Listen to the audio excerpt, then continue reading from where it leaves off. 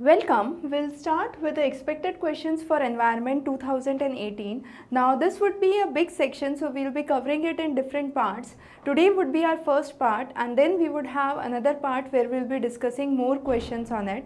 Before we start with this, Pushpendra has an interesting question.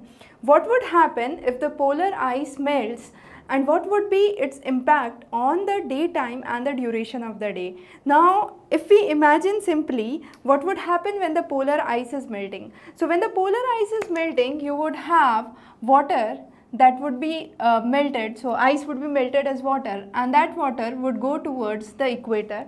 Now, what would happen towards the equator or the tropical region we can say the effective mass in this region would increase as a result you would try to conserve your angular momentum or the MVR. When you are conserving your angular mo momentum, your mass is getting increased, so velocity would tend to de decrease and earth would spin slower than before. As a result, the length of the day would increase. So that would be the basic idea. Now since that was related to environment, we are discussing this. Now many of the students have been asking questions regarding environment, environment and the questions for the current affairs MCQ section. So definitely that would be the focus of our class today. We would be covering those questions for today. Now wherever we have this hand mark that shows these questions are very very import important for your MCQ purpose Now the first is the Govardhan Yojana. This was a recent scheme that has been released by the budget, in the budget sorry. The idea is galvanizing the organic bioagro resource dhan which is also known as the Govardhan. So converting compost into bio-CNG biogas is the sole idea here.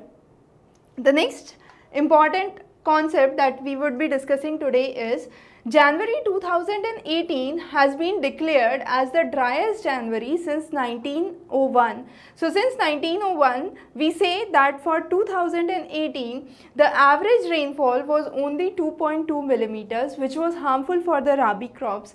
Uh, and this has been predicted by the IMD, that's the Indian Meteorological Department, for the last 117 years data. Again 2017 January also recorded uh, one of the driest months till that date with 2.8 mm and this year it was further less at 2.2 mm. So that's definitely a cause of concern very important for your uh, environmental perspective. So those are the things that we need to focus on. The next is IREDA and RUMSL. Both of these organizations signed an agreement for uh, the solar gas energy or the solar energy. The idea was to establish two solar parks under this scheme in Madhya Pradesh. So one was at Rewa and other was at Mandsaur. Very very important. Also important for those students who are pursuing for geography as an optional and for NET examination. So we would be focusing on both the environmental section for your NET exam as well as UPSC. In UPSC, mainly the questions deal with the important species that have been discovered, some of the species that were previously endangered and now vulnerable, for example, snow leopard, which we would be covering later on. However, for your NET examination, the major focus here would be exclusively on the content related to the climate change, global warming, the important uh, committees that have been formed, the important decisions that have been taken. The next important is uh, under this uh, solar energy itself, so we have the target for 2022 and that's 100 gigawatts of solar capacity that should be added. The next is special committee on interlinking of rivers. Now this is very very important for your mains examination for UPSC environment section.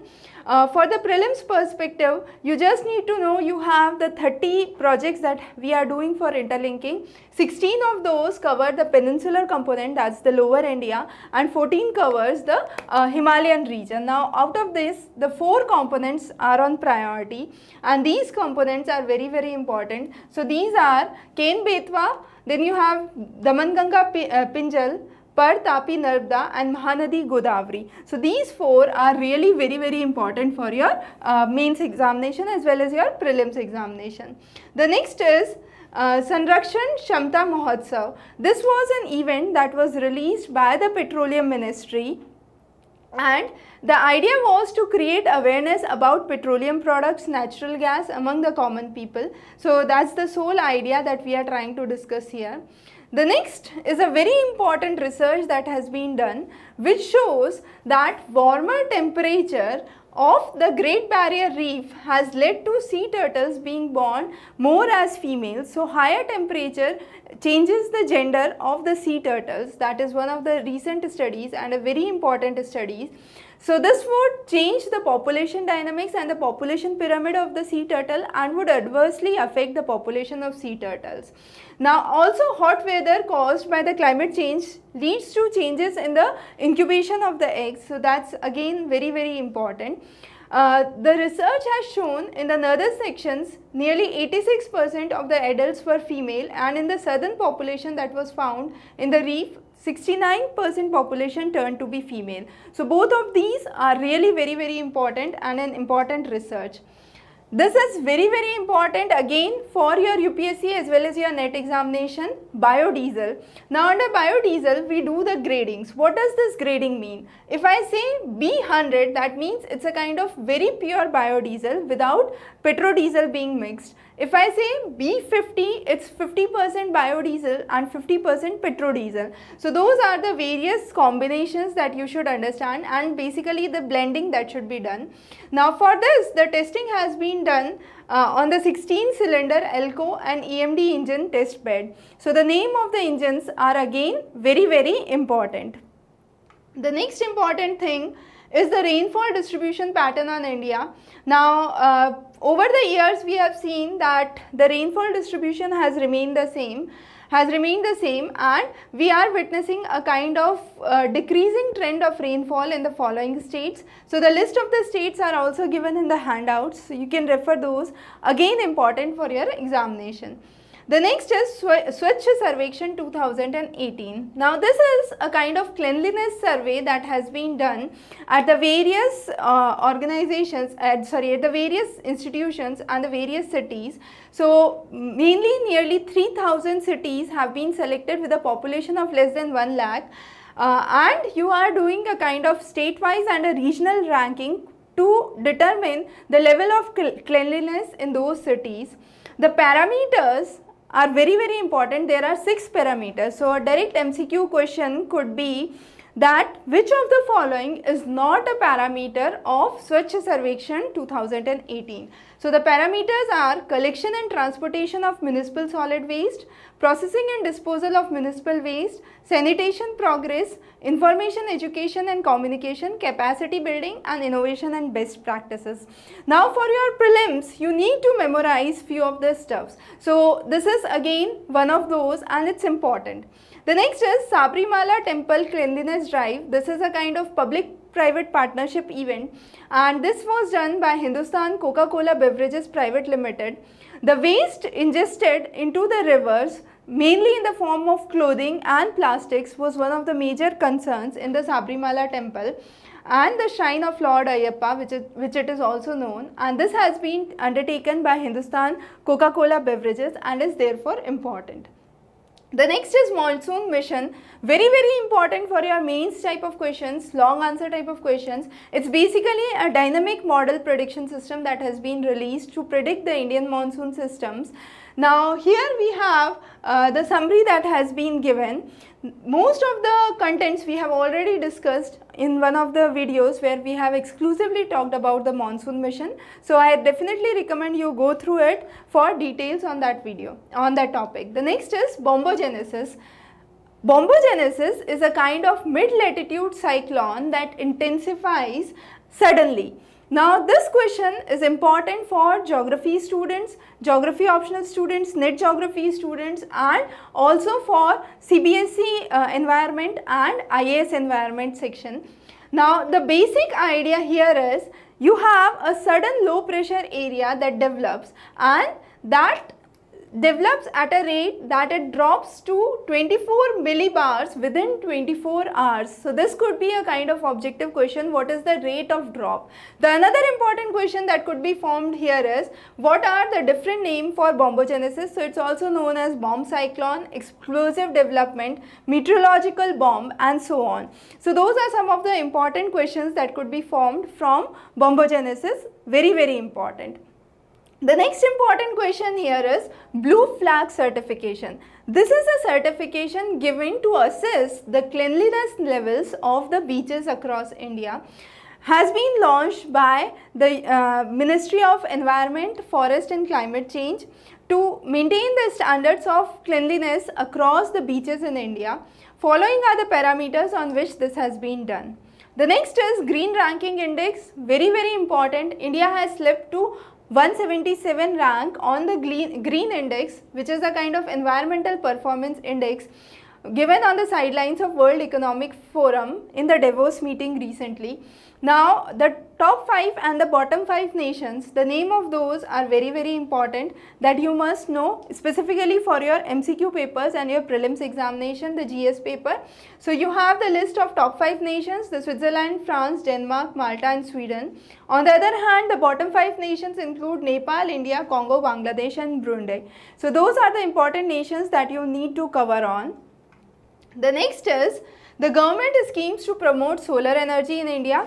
Now, we would be talking about some of the major solar power projects that have been established in India, the solar plants.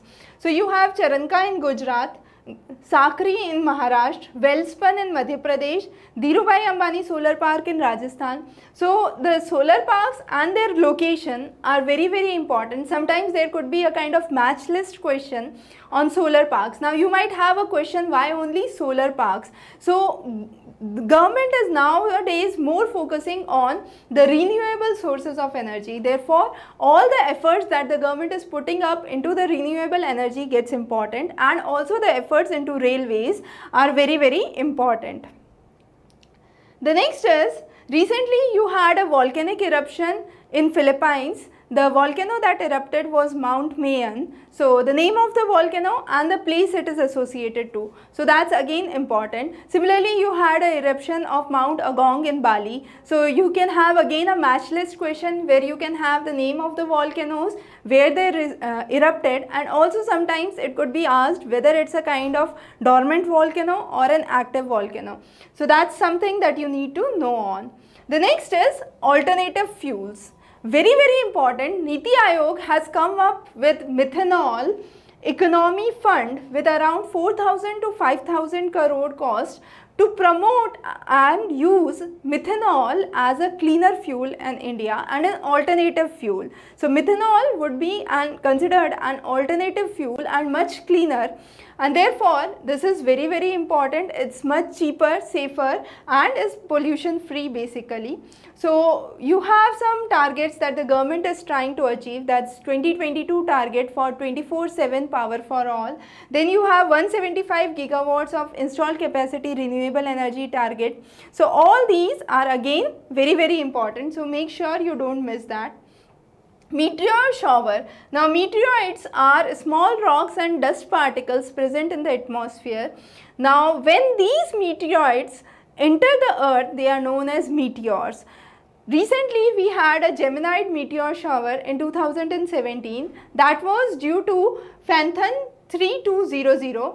Now, this is again very very important the name of the asteroid. So, Geminid meteoroid uh, meteor shower was caused due to which asteroid could be an important question. So make sure you don't miss that. The next is blue economy versus ocean economy, important for your mains perspective. Here we are trying to explain that under blue economy, we try to maintain a kind of sustainable development of the ocean system along with the economic development. However, under ocean economy, we are exclusively working on exploitation of ocean resources. So we have a detailed lecture here Separately, we have covered the concept of blue economy versus ocean economy, very very important, so don't miss it. The next is mission electrification and railway green initiatives. Now, one of the major effort is to electrify all the railway lines and therefore this initiative has taken place. This would be a 100% electrification of railways on an incentive cum penalty framework. So this incentive cum penalty framework is an important terminology that could be asked. So we are trying to do a 100% electrification of railways on which basis? So that could be a very very important question. So it would be an incentive cum penalty basis and railways are the single largest consumer with around 2% of the national energy consumption that goes into railways and this could be used by electrification and further in electrification we can go ahead with solar panels and so on. So that's the basic idea to bring electrification here. The next is UN's energy district in the cities. The idea is uh, funding by EESL where we would try to mitigate around 60 million tons of carbon dioxide that's released into the atmosphere and this is being uh, estimate that is given by GEF, GEF that's the Global Environment Fund. So again very very important Mission Innovation Smart Grids for Renewable Energy talks about establishing smart grids which could be powered by renewable energy. This is important for your mains perspective. So make sure you don't miss that. The next important uh, development is recently you had a workshop on new national policy on biofuels. So biofuels are gaining importance these days. As we said we are working towards Gobardhan scheme. That's again very very important. So under biofuels what we try to do is we are trying to reduce our imports for the from for the crude oil that we are consuming. And once we have biofuels, we tend to have a reduction of around 10% in the imports of the crude oil by 2022. This would save our foreign exchange, it would increase our economic growth and work. we are also working for environmental concerns talking about the biofuels here. Uh, the next is light pollution. Now, so far whatever topics we have discussed have been important for your UPSC as well as your NET. The exclusive section that we would be talking about would be for UPSC that we would discuss in a while where we would be talking about the major species where they are discovered, which areas and what species they are. So, the next important topic here is light pollution. Light pollution basically means excessive use of light so even during the night time, if the light is being used at an exclusive level or a higher level, we call it as a light pollution. This is important for your main section where you can have a kind of long answer on what is light pollution or also important for your NET examination where simply you can have a very simple question what is light pollution. UPSC usually you don't have such simple questions for your prelims examination but yes you have it for your mains examination. The next is BS6. Now BS6 is the Bharat standards that we are talking about and under this standards we are moving to BS6 norms. So that's again very very important. So already in Delhi recently we have the cleaner fuel that has been released. So that's uh, accompanying to the BS6 norms. So already we have BS4 norms for all the cities in India. So that's important. Majuli Island is one of the major islands in Brahmaputra.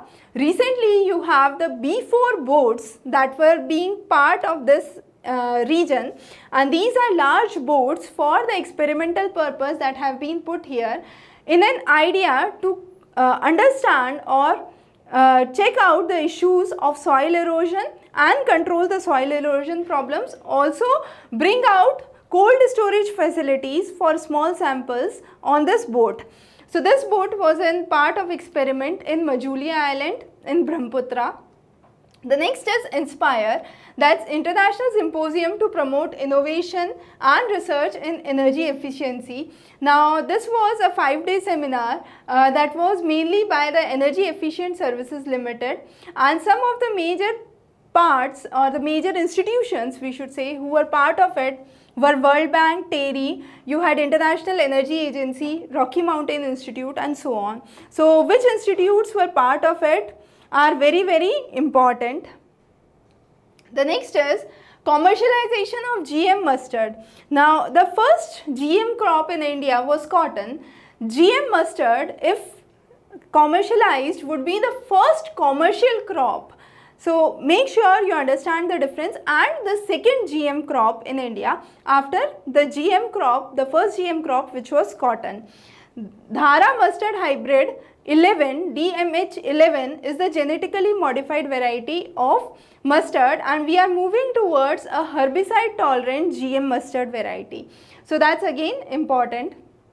The next is environmental concerns of coal mining in India. So government is talking up to open the 10 coal mining uh, sections for commercial auction.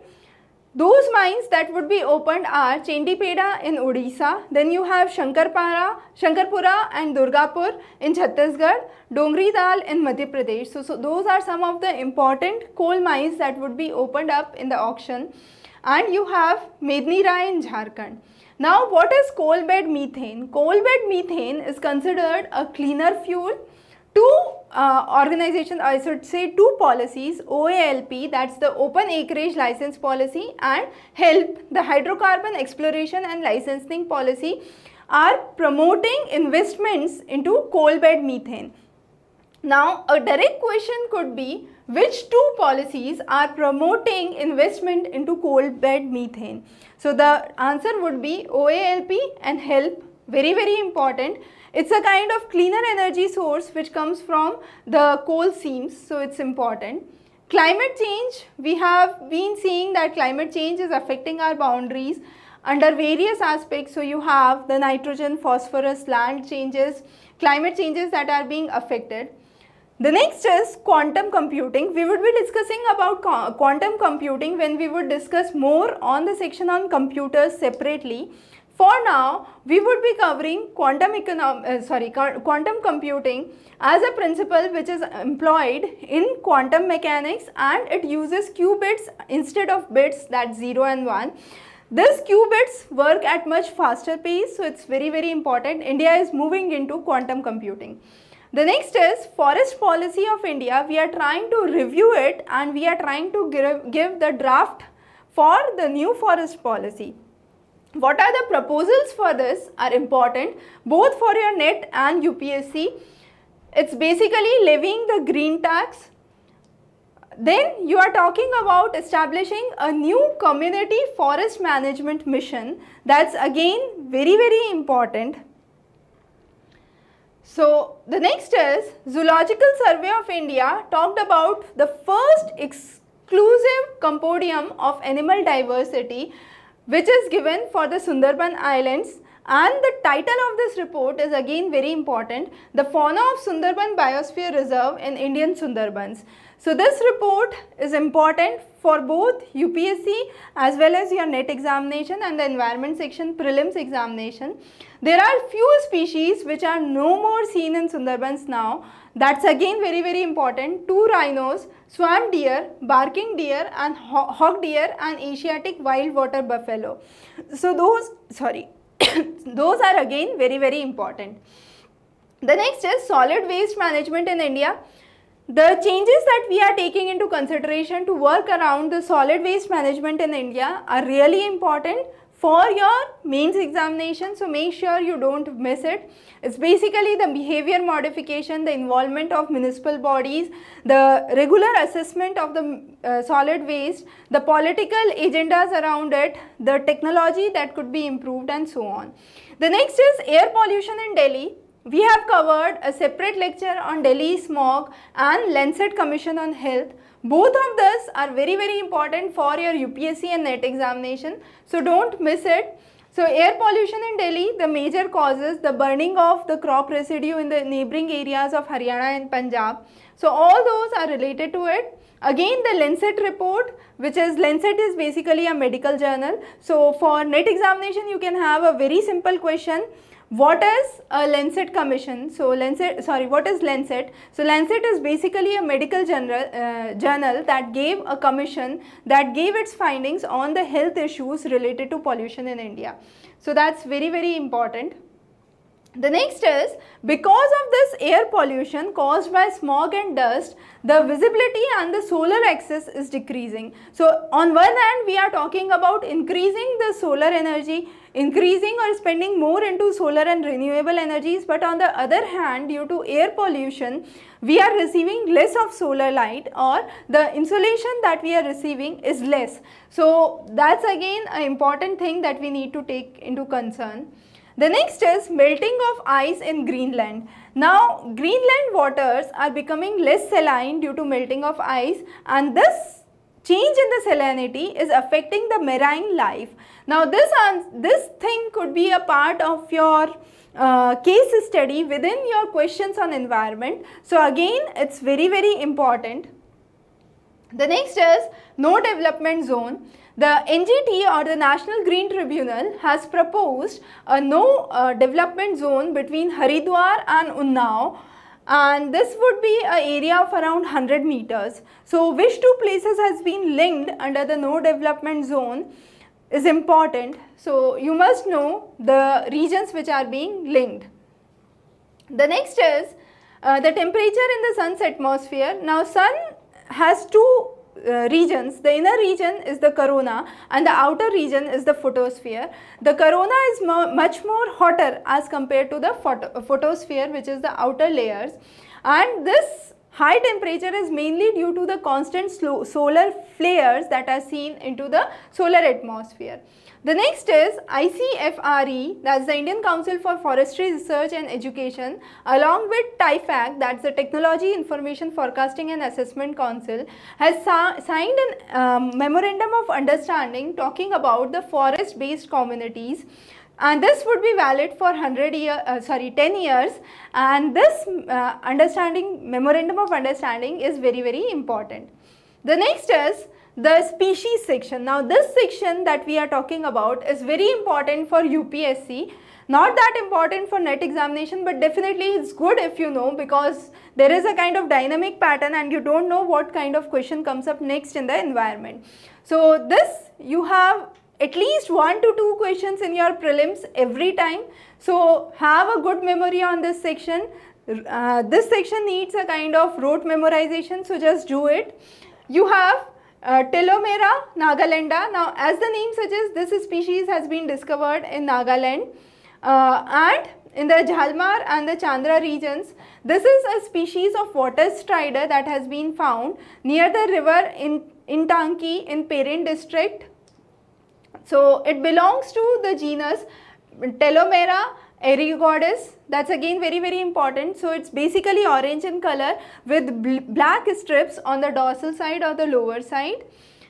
The next is Schistura uh, larketensis. That's a new species of blind fish that has been discovered inside the caves in uh, the East Jayanta, Jayantia Hills in Meghalaya region. Now why this species is blind? Firstly, this is being discovered in a cave area which was very very dark. So the fishes could not see and ultimately they lost the pigments in the eye for the vision and therefore uh, they lost their sight. So this is important. It was discovered in Larket village and therefore it's named as Larketensis. So this is again a new important species of fish that has been discovered. Schaller's wood scorpion has been discovered at the Trishna Wildlife Sanctuary in Tripura. So where they have been discovered and this has been named in the honor of biologist George Schaller who uh, across the world studied the various snow leopards and tigers and therefore it's important. The classic characteristic is this is the 11th wood scorpion species that has been discovered in India the 9 of the 11 scorpion species are endemic to India. So those are some of the classic characteristics about it. The next is Odorrana arunachalis. Now since the name suggests it has been discovered in Arunachal Pradesh. It's a new frog species discovered in Tale Valley. So the name of the valley, the state that it is being discovered is again very very important. This Tale Valley lies in lower Subansiri district of Arunachal Pradesh and this frog is also commonly belonging to the genus Odorus uh, or Odorrana which is basically the odorous frogs. The next is the moth species that has been discovered again in Arunachal Pradesh. So second discovery from Arunachal Pradesh. As we know northeast we have numerous endemic species and most of the new species that are coming up have been discovered in northeast. So this is a moth species that has been discovered in northeast named Zyclamus zirconesis from again the Tale Wildlife Sanctuary in Arunachal Pradesh. Uh, the next is Tyrannomyrmex elli that's T. elli. This is a species of ant that has been discovered in Western Ghats. The species was discovered initially in the Periyar region in the lowermost sections of the Western Ghats. Now this has been named after Mushtaq Ali and therefore it has been known as T. Ali. Now Mushtaq Ali is one of the famous mycologist and he, um, basically the person who worked for ants and he is also regarded as India's Ant-Man. So there could be a kind of direct question who has been regarded as India's Ant-Man. Uh, again important for your prelims examination. Sawfish is important. India has included sawfish in Schedule 1 of the Indian Wildlife Protection Act 1972. The classic characteristic is the body is made up of cartilage rather than bones and it's very closely related to sharks. Five of the species are known which are dwarf, knife tooth, small tooth, large tooth and green sawfish. So five species of sawfish very very important. Kanger Ghati National Park lies in Jagdalpura in Bastar in Chhattisgarh. Uh, one of the intensive species or the state bird of Chhattisgarh that is hill myna is commonly found in the Kanger Ghati National Park. So name of the national park, where it is located. So there could be a kind of match of match the following question with the name and the location. So make sure you work on that carefully. Similarly, you have Amrabad Tiger Reserve uh, which was also uh, which also created a new ecotourism spot which is known as Octopus Viewpoint. This is one of the largest tiger reserves in India uh, and has been a part of Nagarjun, uh, Nagarjun Sagar and Srisailam tiger reserves. The next is Pelican Bird Festival at Atapaka Bird Sanctuary.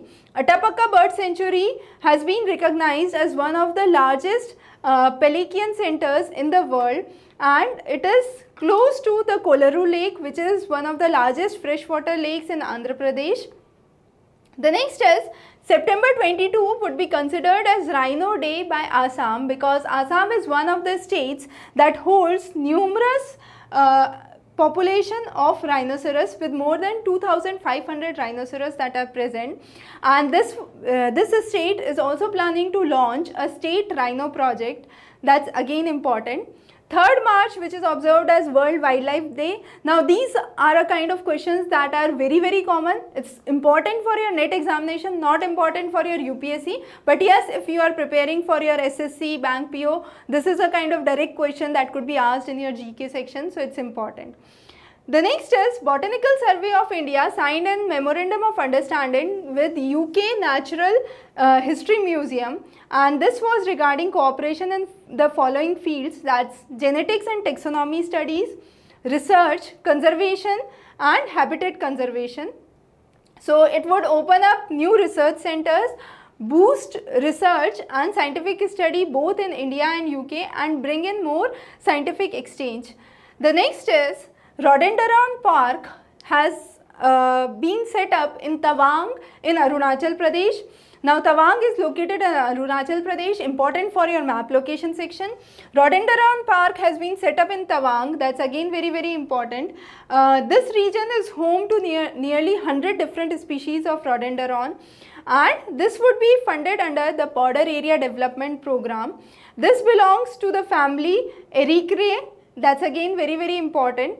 The next is similar to uh, the Rhododendron Park established in Tawang, you have Turtle Sanctuary that has been established in Allahabad by the Ministry of Water Resource and this would be a part of the Namami Gange project alongside the Namami Gange project.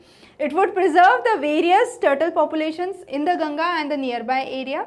Snow leopard as we said first time has been spotted uh, in open uh, outside captivity in the Thembang villages which is a kind of community conserved area in West Kameng in Arunachal Pradesh.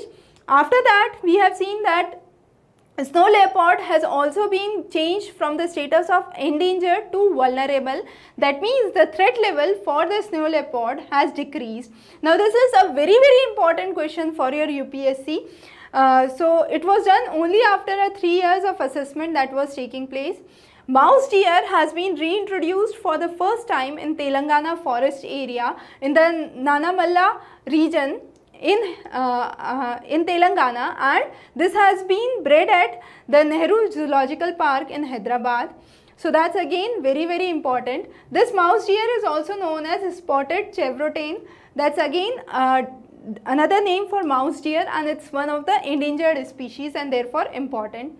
Flamingo festival similar to the Pelican festival that we talked about. Flamingo festival was held at Pulicat Lake in Andhra Pradesh at the Nelapattu bird sanctuary. So, Atapaka bird sanctuary for your Pelican festival and Nelapattu bird sanctuary for your Flamingo festival. Both of these are important and confusing. Make sure you don't get confused in your MCQ while answering this question.